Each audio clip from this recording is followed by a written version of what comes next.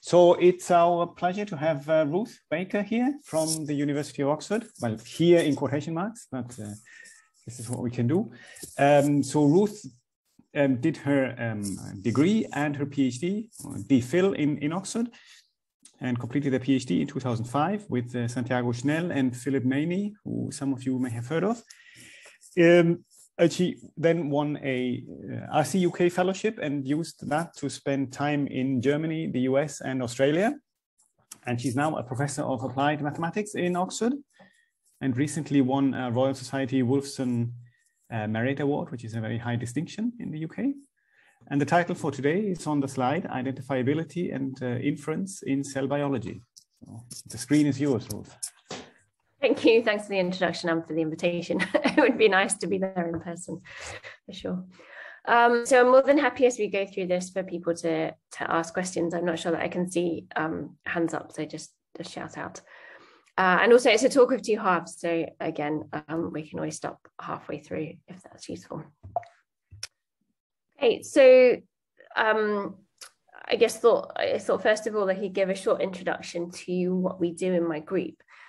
Um, so really understand interested in understanding how various different mechanisms contribute to drive collective cell motility a lot of the time, and then how these processes combine with cell-cell adhesion, cell matrix adhesion, proliferation and death to give rise to very complicated biological processes. And we typically in the group focus on aspects of embryo development because I think it's incredibly important. If we want to think about how to treat a disease or how to engineer a new tissue, then to understand how it was, um, you know, came about in the first place is, is incredibly important.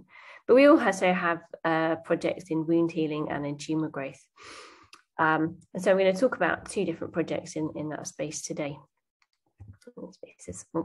And increasingly, what I would say has changed about sort of developmental biology, and um, most, most of the biological sciences, but in particular, I think developmental biology uh, over the past sort of 10, 15 years also is the fact that we now really have access to quantitative data. So during my PhD, I think developmental biology was really a qualitative science where we were just uh, observing sort of phenomena from a qualitative perspective, and that was the level of comparison between model and um, and observations. But increasingly now, with quantitative data, our goal has in the group and, and sort of more generally become the interrogating these quantitative data using validated. So by that I mean sort of calibrated and tested mathematical models. And so what I want to show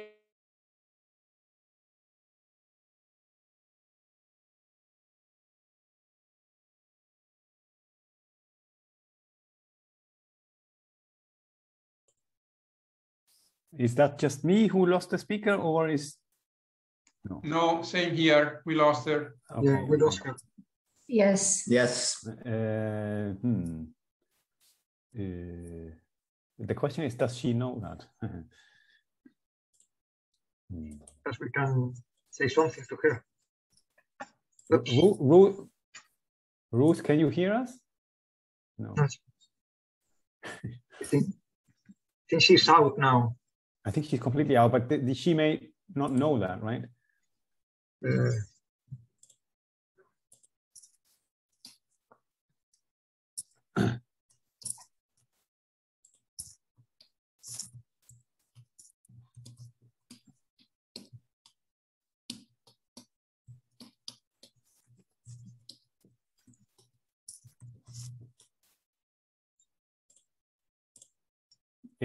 hmm.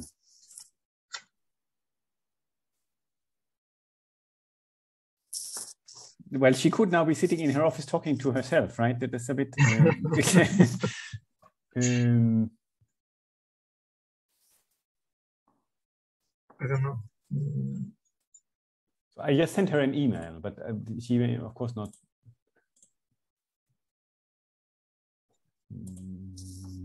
No, but she, if she's out of the Zoom, I think she will notice that. I guess. If she has the PowerPoint on her, yeah. Hmm. Call her, call her on the phone. Yeah, I was thinking that. Yeah, I will do that now. Yes, yes, yes. Um, okay, let me do.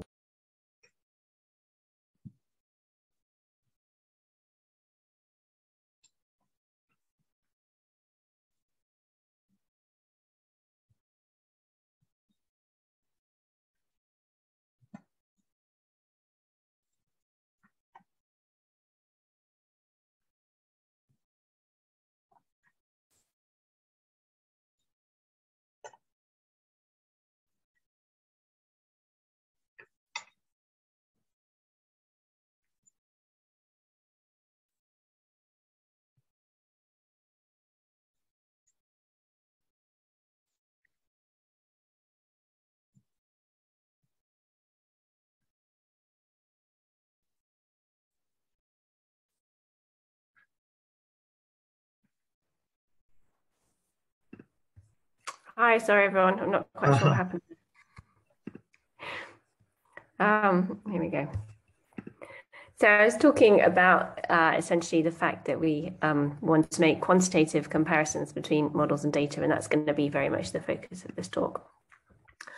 Uh, the other thing is that we're in both of the examples going to take an interdisciplinary approach. So really combining experiments to, uh, conducted in wild type and perturbed scenarios with models via various means for data analysis and model testing. Really thinking about this cycle where we have some predictions that we test essentially using the model uh, when our predictions or our, our, our model doesn't quite sit um, with our experimental observations we want to refine those hypotheses and make new predictions that can be tested experimentally. So i'm going to keep going just so that we don't get too far behind time essentially what do i think the challenges are of kind of trying to work in this quantitative framework um, I would say, first of all, uh, that we've got to think a little bit about what the right level of the model is for the data. So possibly, you know, when we were just making qualitative comparisons between models and data, that was a bit of a different question. Um, but I think now with quantitative data, we can ask questions um, relating to thinking about building a model at a sufficient level such that I can identify the parameters given the data. So by that, I mean, essentially, can I estimate the model parameters with some degree of confidence um, and, and, measure their uncertainty, our uncertainty in those estimates as well? Because I think what's very important is that allows us to go sort of uh, sort of think about how uncertainty that we have in parameter estimates propagates forwards in, into uncertainty in model predictions. And again, if we're making quantitative comparisons, that's very important. Uh, so what I want to do today is showcase how we uh, have gone about doing this with some quite simple models. So the biology isn't necessarily simple, but the mathematical models are about as simple as they probably could be for these kinds of systems. And more often than not, I'm going to think about the inverse problem, which is if I have some quantitative data, this is from a scratch wound healing assay, uh, and I essentially go from uh, essentially imaging uh, microscopy images to quantitative information, uh, can I estimate the model parameters? And within a Bayesian framework, I'm interested then in estimating the posterior distribution. So this is the probability of model parameters theta given data D, and I write that as the product as being proportional to the product of the likelihood of the data given the parameters theta and the prior distribution, where the prior just represents some uh, previous knowledge I might have about those parameter values. And I should say in most of the work today, um, we either have kind of very, little knowledge or we don't want to, uh, uh, we, we, want to be cautious about over constraining essentially our um, our, parameter, our prior distribution or our parameter space, so we take relatively un, well, uninformed and wide priors. So the pro first project I wanted to talk about was a project joint with the collaborator Ilan Davis in Oxford, and that was relating to testing mechanisms of mRNA localization robustness. So the story really here is that essentially the cell makes RNAs in the nucleus. It then essentially exports them through nuclear pore complexes into the cytoplasm, and then those mRNAs translate the proteins, and it's the proteins that do the various jobs within the cell.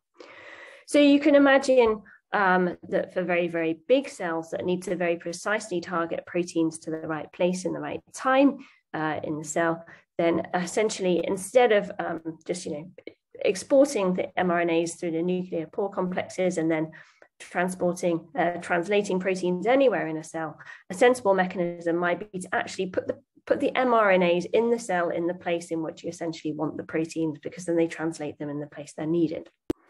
And it, it turns out that this idea of post-transcriptional mRNA regulation is used by a lot of different cell types, um, used in establishing the body axis in cell migration and synaptic plasticity to kind of give you a few examples. And so the question we wanted to answer at quite a high level really is what controls this process of mRNA localization and what makes sure it's robust. So if a cell is going to favor this mechanism over one, which essentially involves just translating a protein anywhere in the cell and then moving the protein, it should be, should be a robust process. So try and answer this question we uh, worked in the framework of the Drosophila uh, egg chamber. So this is a, if you like, a set of Drosophila egg production lines. So each one of these strings, I think there's sort of 18 to 20 uh, in this in this image here in total. Each one of these strings, essentially, as you go up from the base towards the top, is a, a sort of series of maturing Drosophila um, egg chambers.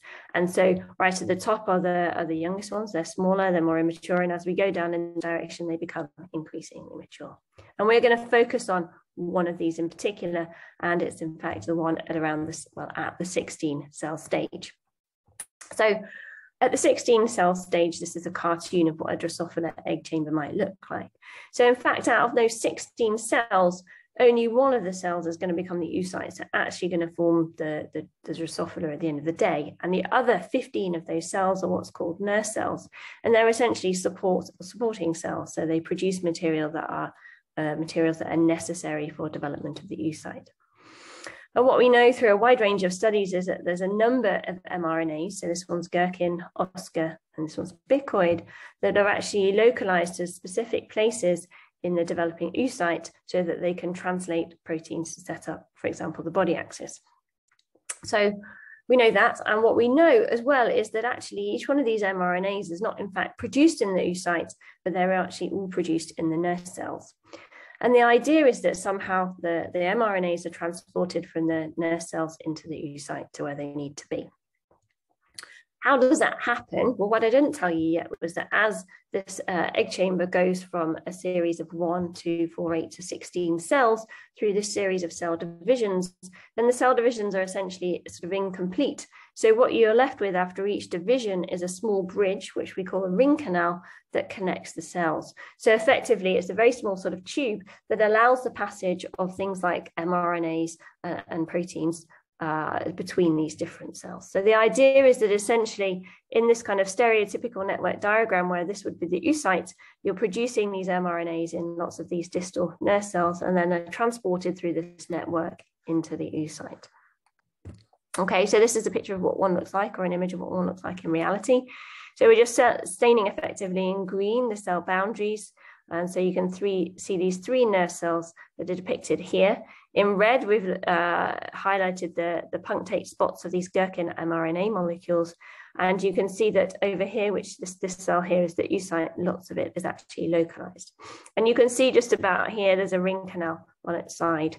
And if I go through a sort of Z stack of this, you can again see the oocyte, the ring canals, uh, sorry, the nurse cells, and there's a ring canal here and there's one here as well. So you can see very, very clearly, there's another one that's popped up there, uh, that it's possible to collect quantitative data here by going through one of these Z stacks and counting essentially the number of these bright spots which correspond to these mRNAs, both in the nurse cells and in the oocyte. So that's the kind of data that we have hold of. Um, and what do we know from a very simplistic perspective? That essentially these mRNAs are produced only in the maternal nurse cells and then they're transported, as I said before, to the oocyte through this network of ring canals. So if you could come up with the simplest possible model ever of this process, then that's what we did. So we used a compartment-based model where we're tracking the number of these complexes in each one of the 16 cells. And then we assume that there's bias transport of RNA between cells if they're connected by a ring canal and there's production in each nurse cell. So um, just to highlight as well that because the cell sort of cell divisions are so stereotypical, you can uh, this sort of network wiring diagram, if you like, that tells you how the cells are connected by ring canals is kind of reliably reproduced every single time. So we always label cell number one, that's the oocyte, and then uh, we have a very um, there's a form, formalism to label the rest of the nurse cells as well. So a system of 16 ODEs is what the model looks like. It couldn't be simpler. We've got production at rate A everywhere apart from in the oocyte, so that's at zero in this vector V. And then you've got transport at rate B. And this matrix capital B encodes two things. And, it, and the structure of it does not is not very important, but the idea really is just that um, it encodes the connectivity of this network. So essentially, uh, the ijth entry of B is only non-zero if ion cells I and J are connected by a ring canal. Uh, and nu is a parameter that represents how biased the transport is. Uh, and in the biology literature, uh, the convention is to have nu to be biased away from the oocyte, which is sort of counterintuitive to me because it all ends up going towards it. But just so you know, um, when you see the parameters, that's the case. So what can you do? Well, I guess the nice thing in this particular case is that the model's so simple that you can write down an analytic solution, which is quite helpful. And then you can uh, pick, typical parameter values. And, and I guess a while ago, this is what we would have just done. We would have picked parameter values, and then that would have allowed us to plot the distribution. So the stars basically should just be interpreted as the number of mRNA complexes in each one of these cells labeled according to this wiring diagram. So we can do a bit better than that though now because we have quantitative information. What we can do is try and actually pin down these parameter values. So we're going to work, as I said, in a Bayesian framework. Uh, we're going to assume a measurement model, um, which is uh, to say that our observations are negative binomial distributed with some, uh, some parameter sigma. And we're also going to introduce another parameter here, phi. Now, I didn't say this before, but actually what happens is that for these mRNAs to be transported between the various nurse cells, what they're actually, what actually happens is that they're packaged up. So two or three of them are packaged up with a number of proteins, and then they're transported uh, on, on the um, essentially the microtubule network of the cell. And what happens as, uh, I just need to go back up one slide, as as these sort of as these packages of mRNAs and proteins are are transported from any of the cells that neighbor the oocyte into the oocyte, so from two to one, nine to one, five to one or three to one, then actually there's some higher order complex assembly process. So kind of these packages are, are further kind of amalgamated. And that's represented by this parameter phi. So it turns out that as soon as you introduce this parameter phi, the, the, the, the problem becomes non-identifiable. The model does because essentially there's a trade-off between this parameter phi and the, the production rate, I think. So what you need to do is to get around that by going and estimating this complex assembly uh, parameter uh, by independent means. So what we did was essentially uh, looked at uh, the intensity of these, uh, these spots that stain for these complexes in the nurse cells, in the oocyte, and in the background. And by comparing their um, by comparing their intensity, we get uh, essentially an estimate of this parameter phi being 0.4. So somewhere between two and three of those bright sort of spots that you see in the nurse cell are stitched together when you see them inside the, the oocyte. And we also can put a credible interval on that. And the idea is that then allows this, this estimate allows us to specify a really strong prior for phi in the full model. And then that gets around those identifiability issues. So once you've done that, that's, uh, that's alleviated some issues, uh, and then you can go further towards getting the rest of the parameters. So now A, B, and U are the parameters that we're interested in um, estimating. The first thing that you can do is essentially um, you can uh, uh assume that you've got a quasi-steady distribution. So by which I mean that if you look at the solution at long times, it's all governed by this term over here. So the vector K2 essentially governs the relative distribution of these complex numbers across the different uh, cells in the system. So essentially what allows you to do is to kind of forget about estimating the parameters A and B. And K2 essentially is all driven by this bias parameter or depends only on this bias parameter nu. So again, by looking at these quasi-steady distributions, you can estimate nu by itself. So we assumed a relatively essentially flat prior from 0 to 0.5. Uh, and what you can uh, what you can see is that the posterior distribution is really, really strongly peaked at quite low values of the transport bias. And again, to highlight that this, this in the convention that's used biologically means that essentially the bias is all towards the, the transport is very strongly biased all towards the site through this network. From there, you can essentially, one of the things that you can do is do a posterior predictive check.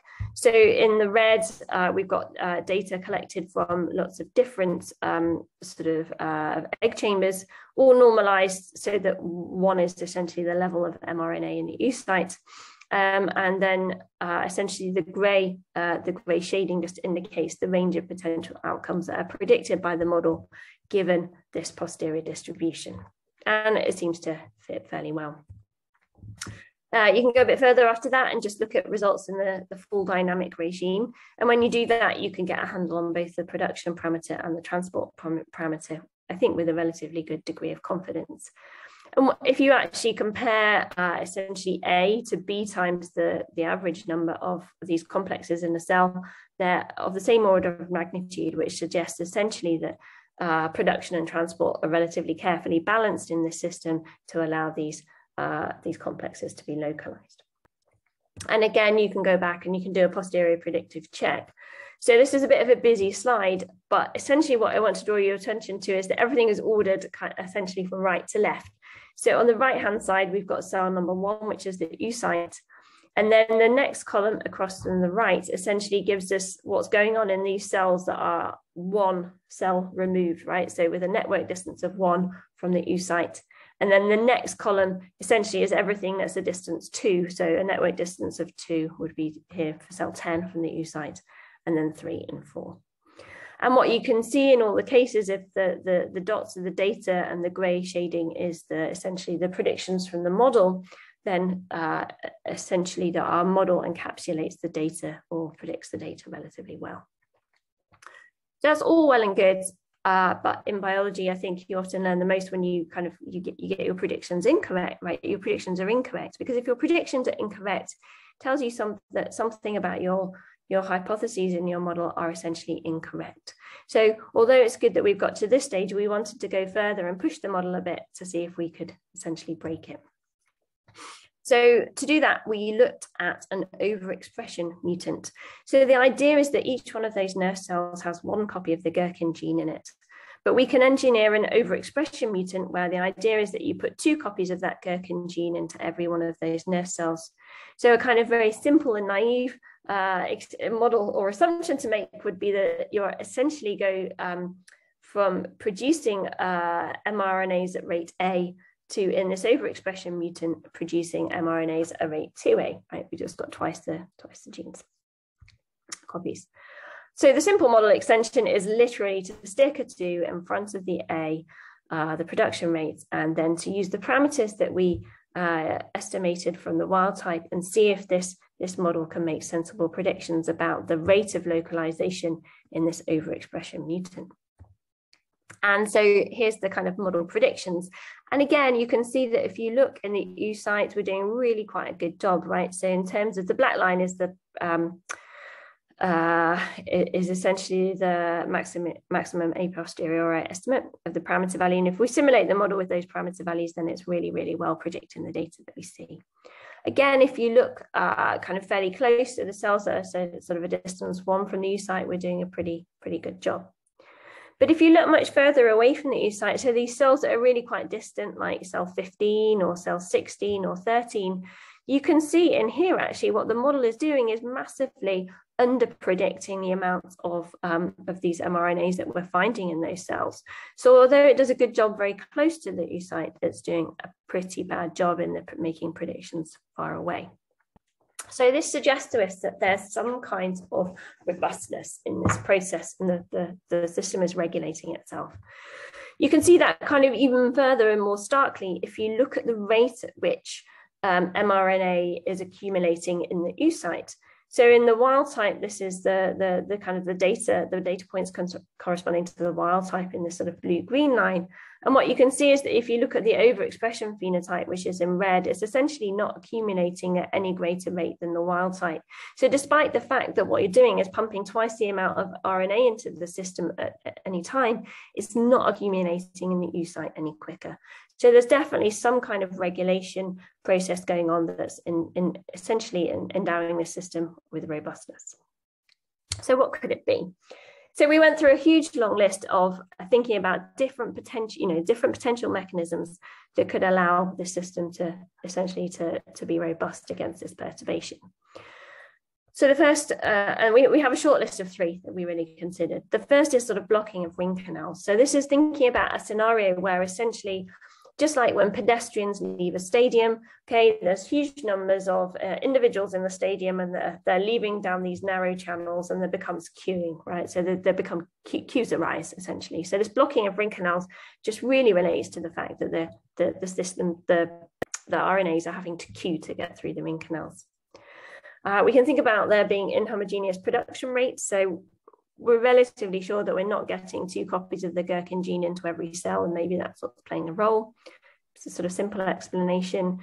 Um, and the last thing is that maybe what we're seeing is some kind of density dependent transport effects. So if these um, mRNAs are essentially being transported on the microtubule network and you overload the network, then at some level, the, at some stage, the network's going to become saturated and you're going to reach a sort of maximum transport rate. And maybe that's also what we're seeing. So the idea was to essentially represent all these different hypotheses sort of individually and together as a collection of models and use model comparison approaches to evaluate which ones are the most plausible. So what you do is you end up with a series of seven different models where model zero was the very simple one I showed you where you just double the production rate of mRNAs. Model one just thinks that blocking or just includes blocking as a potential mechanism for robustness. Model two, density dependent transport, three production, and then the next three models combine, combine two of those features and the last one has all of them. And then we essentially, so by considering all combinations of these different mechanisms, we wanted to evaluate which sort of potential model was most plausible. And we did this under two different uh, ways, if you like, of weighting the models. The first one is a, a BMA weighting, which really strongly picks out model one, which is this idea of blocking at ring canals as being the, the factor that's allowing the system to be robust. And under the stacking weights, which are a bit more conservative in the sense that they allow for the possibility that the actual true model is not in the set of models you're considering, essentially almost certainly the case. Uh, it still comes out in favor of blocking of the ring canals as being the kind of primary um, contributor, if you like, to robustness.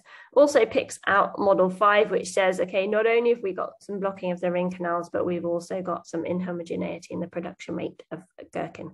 Again, it's probably true because we probably haven't always got two copies of the gurken gene in every cell is there evidence to support the fact that we can see blocking of ring canals? So we could go back and we could do some more on this, and we probably should. But if you just take a look at some of the images we collected from the overexpression mutant, you really can begin to see areas surrounding surrounding these ring canals where the uh, essentially these these mRNA protein complexes are accumulating, which supports our hypothesis that essentially this crowding around the ring canals is what's allowing the system to be robust. So from this part of talk, a few conclusions. Firstly, I just want to get across the point that we have an incredibly simple model, but the fact that, that we can connect it to data um, in a quantitative way via Bayesian inference made it a very powerful means to distinguish between hypotheses. And this was certainly a case if we hadn't of, of you know sort of saying that if we hadn't have made a quantitative comparison, we couldn't have drawn these kinds of conclusions because all of those mechanisms would have uh, sort of done something that looked vaguely plausible. Um, and for this system, we, we think that our model has allowed us to sort of hypothesize that it is a tightly regulated balance between production and transport for localization, and that crowding of these complexes and blocking of the ring canals helps regulate the system and allow it to be robust. So that's the kind of first half of the talk. And I'm more than happy if anyone has any questions. I can't see hands uh, to take a few questions now, or if you prefer, I can answer them at the end. If anybody would like to ask a question, then they're welcome to do that. At this point, you just unmute yourself and ask. I think, but we can also do that at the end. Keep going. But then I guess continue. Continue, yeah. I guess. Sounds good. Um, sorry, I'm just trying to get rid of this thing on my screen now. Um, all right. So the second part of the talk, I wanted to um, sorry, I can't get rid of the uh, bar at the top of the screen, probably doesn't matter. The second part of the talk, I'm going to switch tack quite a bit, but again illustrates that um, sort of oftentimes when we're trying to un uncover biological mechanisms, and one of the uh, kind of really useful things we can do is make a quantitative comparison between model and data to allow us to do that. And this is kind of moving up a scale. So thinking about how electric fields impact uh, the mobile or the motile behavior of single cells. So we know, and we have known for a long time, that cells have you know, the ability to respond to a number of different types of clues uh, within their environment to undergo directed cell migration. So in the movie, what you're seeing is a population of cells undergoing uh, chemotaxis. So this is essentially motion uh, up chemical gradients, so usually, usually uh, diffusible chemical cues. But we also know that um, sort of haptotaxis, which is essentially motion up gradients in substrate bound chemicals or adhesion sites, is, is widely used by cells. And also durotaxis, which is this idea essentially that cells can get guidance cues from uh, thinking or measuring the rigidity of the um, of the environment or the extracellular matrix stiffness. But another cue that's not really all that much thought about, but maybe should be, I think, is electrotaxis. When so we were thinking about the direction, directed motion of cells due to an applied electric field. So what you're seeing here is two different sets of experiments, one from Daniel Cohen's lab and one from Min Zhao's lab, where what you can see is that very clearly, so in particular in the on the left-hand side, we've got a field that goes left, right, and then up, uh, from down to up. And you can see this population of cells is responding collectively, essentially, to, uh, uh, uh um, to, to, that cue. And why do I think this is important and interesting to think about? I think out, out of all the cues uh, that we can sort of, um, that the cells respond to, uh, electrotaxis kind of or, or, applying electric fields to populations of cells is maybe one that holds a holds a, huge amount of promise in terms of our ability to be able to control cell populations and to guide things like uh, tissue, you know, guide populations in the context of engineering new tissues or in terms of wound healing because it is just essentially so easy to control compared to all the rest. So our kind of very, very long-term goal, if you like, is to think about developing electrotaxis into a sort of bioengineering tool with, like I said, eventual uses in uh, regenerative medicine and wound healing. Sorry, my computer sounds like it's about to expire.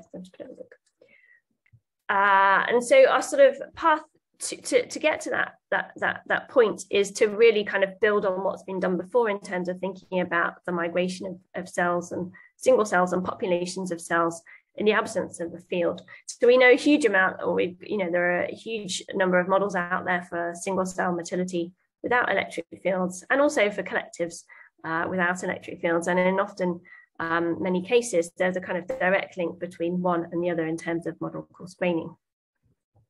What we want to do for now is to think about how to adapt those models of single cell motility uh, in the absence of an electric field to include a, an electric field um, because that would then sort of together provide a stepping stone to think about how to understand the motion of cellular collectives in the presence of a field. And the idea is that once we have a forward model of that process, we can use that in some optimal control type frameworks to think about how to engineer electric fields to get cells to do precisely what essentially we want them to do. Um, but for the moment, we're going to stick up here. The, the, the, the, the lower bits are kind of under, uh, uh, under in progress at the moment, but we're going to stick at the level of single cells. So these are the kind of data that we've got in order to build the model. So the assays using human corneal epithelial cells. Um, the experiments last five hours and we're imaging every five minutes. And essentially the data that we collect from these types of microscopy uh, images are essentially tracks uh, that tell us the location of cells over the duration of the movie. And I think in each one of these movies, we would track about 30 cells over time. So this is our kind of baseline uh, data where there's no field applied and the cells very much look like they're wandering randomly. And then we've got a second set of data that essentially uses an applied electric field. So for the first hour of that movie, there's no electric field. And then for two hours, it's to the right. And then for the subsequent two hours, it's from the left. And you can really see the cell population reverse. If I let it keep playing a second. So from the start, they're moving randomly. About now, the field's left, right. And then you can really see that when it turns from right to left, the cells will reorient. And again, what we're going to do in these movies is collect data by tracking approximately 30 cells over the five hour time interval. So the first thing that we thought about was what was the appropriate, if you like, autonomous model. So what was the appropriate model for this cell population um, in the absence of an electric field? So we wrote down a model where essentially the position of a cell changes because it's got a velocity, no surprise.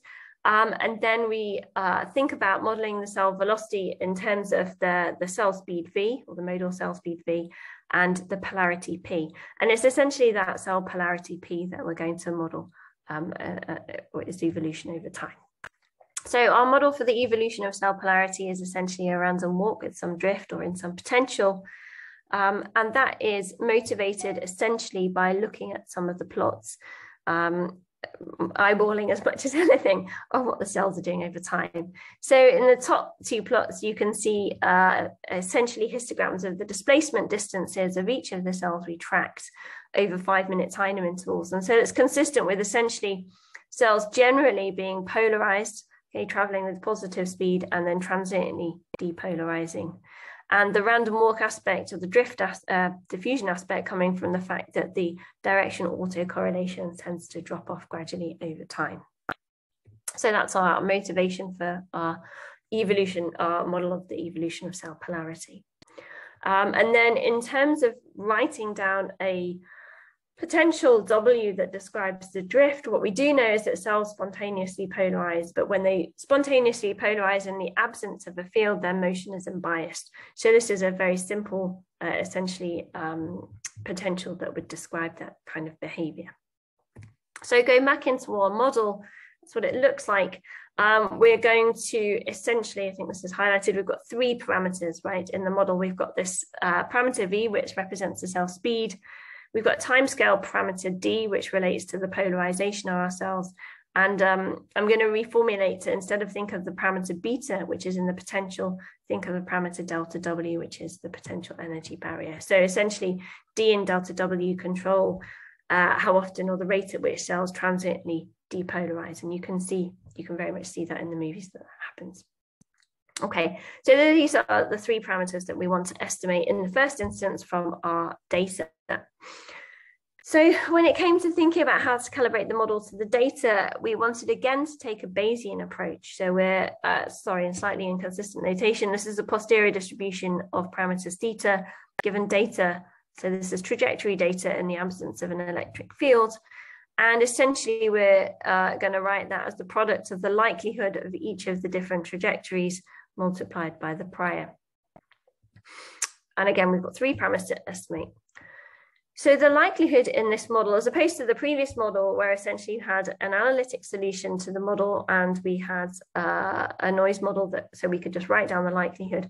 Here the likelihood's intractable. And so the idea that we had really was to try and use synthetic Bayes to parameterize or to, to calibrate this model to the data.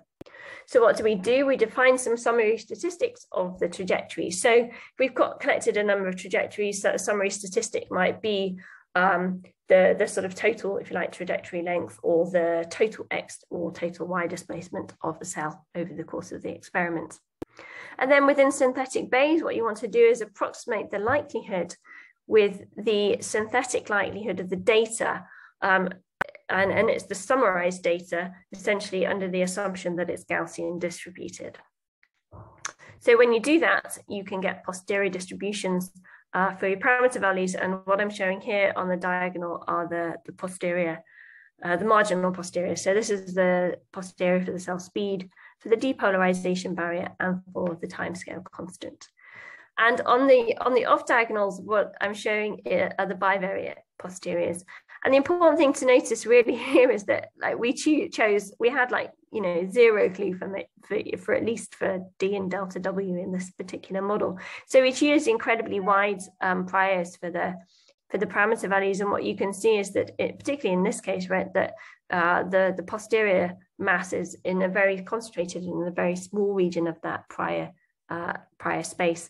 Um, and then we get really quite tight estimates on each one of the, the parameters in the model. So that's uh, pretty nice. Obviously, once you've got those posteriors, you can begin to make predictions about the model. So you can simulate the model forward in time using parameters drawn from the posterior and compare observed positions. Um, but you can also essentially make predictions on cell characteristics that you weren't actually able to estimate or to measure very easily from the data. So what's the average or the distribution of times to polarization or times to depolarized? And what's the probability at any time that a cell is in, in, in the system is polarized? So this kind of access by being able to make these forward predictions, you get to, to access some, some statistics that you couldn't actually measure very easily. So then the idea was to think about how to augment this model and how to sort of or, or um, to think about and, and to use that kind of, uh, if you like, so, to sort of build upon this model to try and test uh, sort of different hypothesized mechanisms for how the electric field impacts the cell motility. So we've got an applied electric field, 200 millivolts, millivolts per millimeter in the positive x direction. So this is just represented here. And what we want to know, like I said, is how does this applied field impact cell motility? And this was our basic model. So what we did, kind of similar to the previous project, was to try and come up with a number of different sort of potential ways via which uh, the electric field could actually impact the cell velocity and uh, test each of them. So the first uh, sort of hypothesized mechanism mechanism is that essentially what happens is that the electric field imparts an additional force on the cell, and essentially what that does is essentially adds an additional component to the velocity that's in the direction of the electric field. And the strength of that, if you like, effect relative to the kind of autonomous uh, uh, sort of motile behavior of the cell is represented by parameter, parameter gamma 1. Second, we said, well, maybe the effect of applying electric field can just be to make a cell move more quickly. So the idea is here that it doesn't matter sort of what direction of the field is in, it's just that you'll see an increase in the speed of a cell by a factor of gamma 2 relative to its baseline level. Uh, hypothesis three is that there's a speed alignment. So essentially, the uh, extent to which the cell uh, velocity increase or is, increases or changes, if you like, um, due to the applied electric field depends on the angle between the field and the polarity of the cell itself. So this is just the unit vector and the direction of the cell polarity. And um, gamma 3 just represents the strength of that effect. And then the last uh, effect comes into the polarity equation, and it just says that we assume that the effect of the electric field is to bias the cell polarity in the direction of the field itself. So that's uh, just the term that pops up here in the SD for the cell polarity and with strength gamma 4. So once again, our idea was to essentially look at all combinations of these different effects and trying to distinguish them or try and think about which model is best for the data. Uh, okay, yeah. So we want to look at all combinations of these. So I think we end up with 16 different models. Again, we want to calibrate the model to the data uh, the parameter space has increased quite a bit now because we've got up to seven parameters in our model. We've got these four gamma parameters that we have to include, but we've got additional data because we can still use the data in the absence of a field as well as the data in the presence of the field in order to calibrate the model. Um, and I should say that when I talk about using the data with the applied electric field, we didn't use all of it because we wanted to keep some back for model testing. So what we did was we used the first three hours of that, that experiment uh, with the applied electric field. So an hour of no field, an hour of field from right to left. And then we're going to keep the data, which is when the field direction is switched to try and uh, test the, the validity of our model um, after, after we've calibrated it. Okay.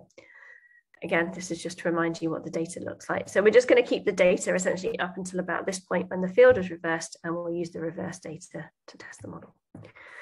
So I said we've got a collection of 16 different possible models, which are essentially all combinations of these different potential electrotactic effects. So each model is going to be uh, essentially indexed as uh, model X, which is some subset of one, two, three, and four being these different electrotactic effects. And we're going to evaluate the plausibility um, of the model to give rise to the data in terms of an objective function J, which essentially it relates to the probability of the model uh, X to um, to uh, recapitulate the data X, both with and without an electric field. So on the next slide, just here, all I'm showing you is essentially the subjective function J uh, evaluated over all different essentially possible combinations of these models. And what you see, and, and bigger J is better in this context, right? So what you see is that uh, when X is just four, so we only include that potential electrotactic effect X uh, four, then that's the essentially the model that is most consistent or best able to, to predict the data. What does that tell us? There's essentially strong support for a hypothesis that the bias that we see in cell motility is coming solely through the fact that cells want to preferentially polarize in the direction of the field. So we could have all of these potential electrotactic effects in there, but the one that essentially best explains the data is one that just has this electrotactic effect number four. And this is the model that you get as a result of that. Uh, again, you can then go away, you can look at the posterior distributions, check that there aren't any issues with identifiability. Uh, and certainly there aren't, right? If we seem to be, if we look at the marginal uh, posterior distributions, we seem to be doing a reasonably good job of pinning down those parameters.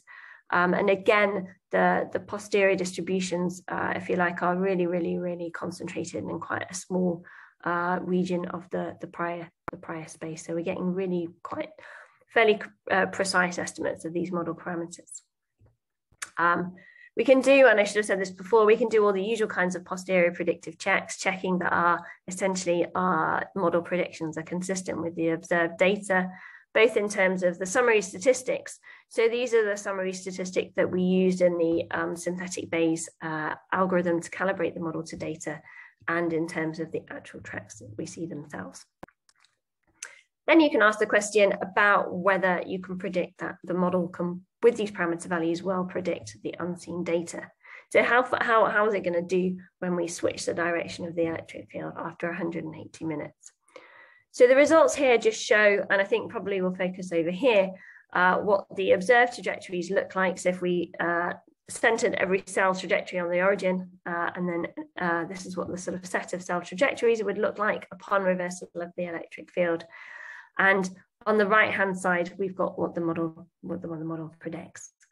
In terms of summary statistics, um, these are the summary statistics that, that we use to calibrate the model. I think we're doing a relatively good job. And we're certainly, certainly in the model capturing the fact that the cells reorientate when the, when the um, is reversed. But I'd argue that cells in the model are taking a lot longer to reverse than they do actually in the, in the experiment. So although we're doing an okay job, I think we've still got a bit of work to do there.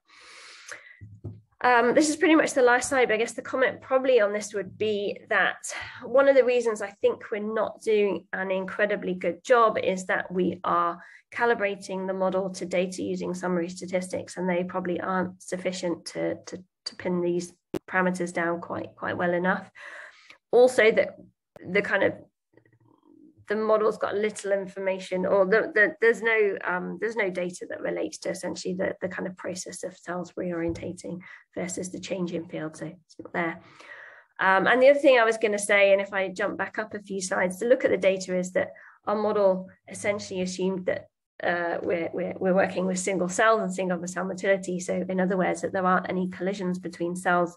But I think it's probably fair to say that at the point at which uh, especially the kind of field reverses, I think there are collisions between cells that may, may essentially lead to them reorientating quicker um, than our model is going to predict. So it's probably a little bit to do with the actual data or the assumptions underlying the model and partly to do with the method that we use to calibrate the model to data.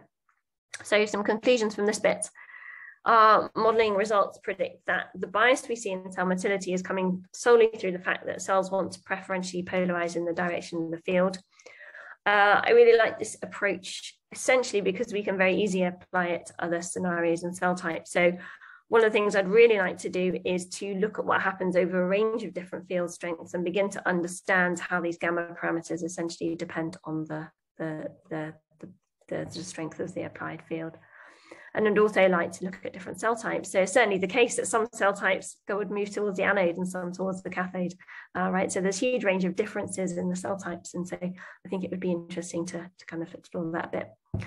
And at the moment, we are extending these kinds of ideas to populations of cells with the ultimate aim being to to be able to say, okay, you know, if in a particular tissue engineering application, I wanted to move cells along a particular path, um, how can I most accurately do that using uh, some input uh, electric field stimulation protocol?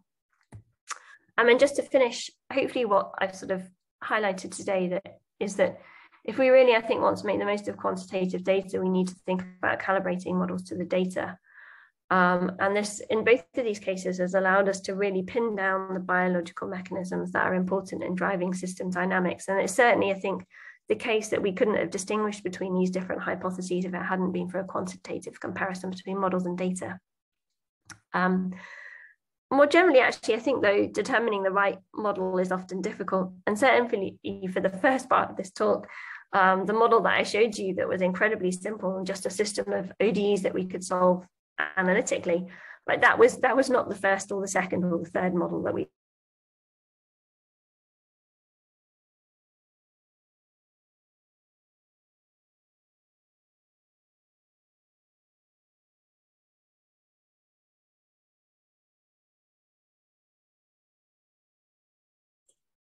Right. We have already. We have lost her, the speaker again, right? So, well, but let's wait if she reconnects. Yeah.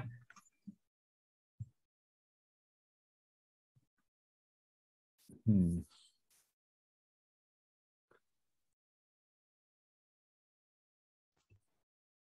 There we go. Sorry.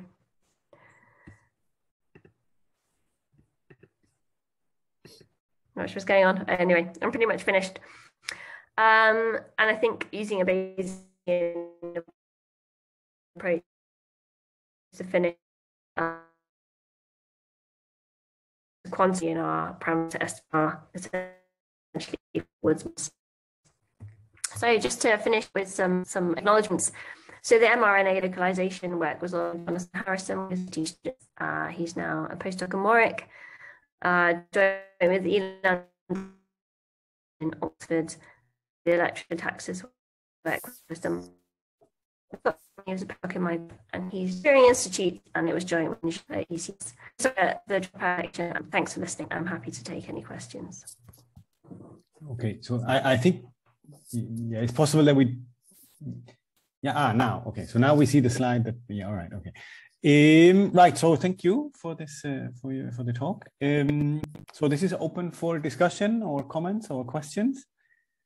And um, as usual, I'll, I'll I invite the students in the audience to ask the first question if anybody would like to ask one. Um, just unmute yourself and, and ask.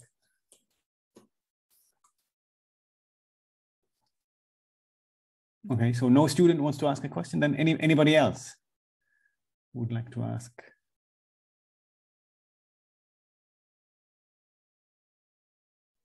Hi. I, I want to ask about the.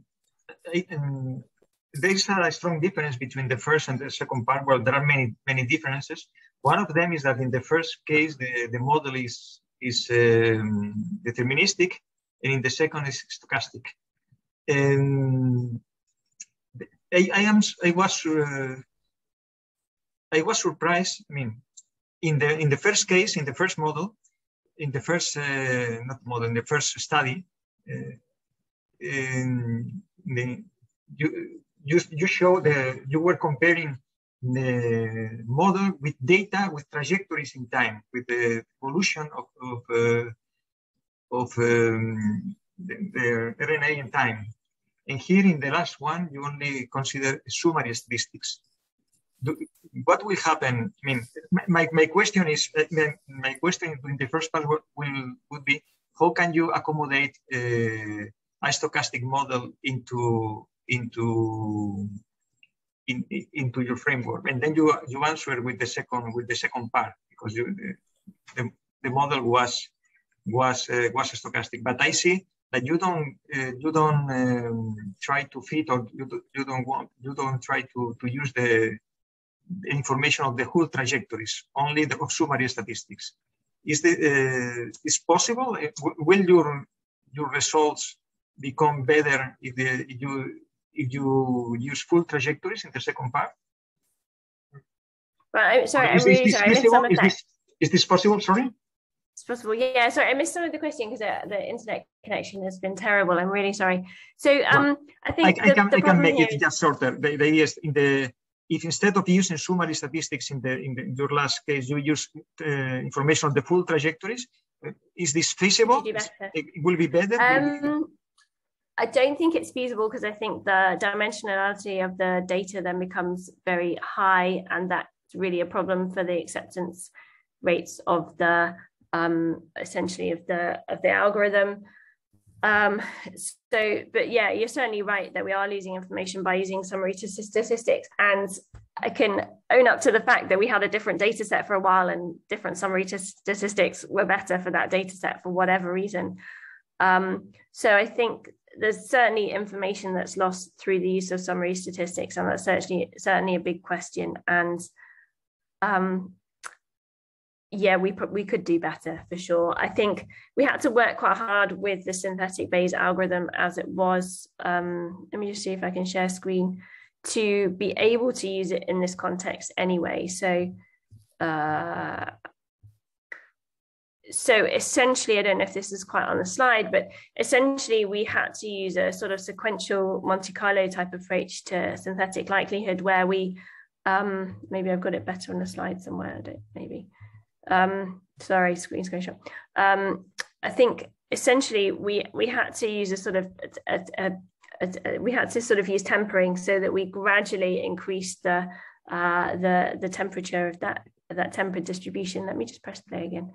Um, and, and that was something that was necessarily essentially to deal with the fact that we had a huge prior distribution and uh, uh, a very narrow posterior, very all the posterior was very focused within that. So by essentially changing the, the temperature parameter here, that allowed us to get the synthetic likelihood scheme to work as it was.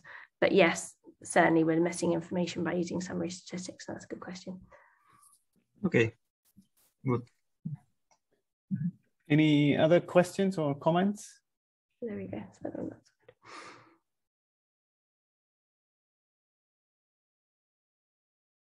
Anybody else? No? Well, if that's not the case, then thank you again, Ruth, for this uh, for the talk. And um, well, it, it, would have, as you said, it would have been nicer to have you here, but at the moment, I think it's uh, another time. Uh, yeah, exactly. Safer, uh, safer like this. Um, and I close with the well. Well, we'll see you, see everybody else next week, hopefully. Um, Thanks, everyone. Okay, thank you. Thanks. Bye. Bye. Bye. Bye. Bye.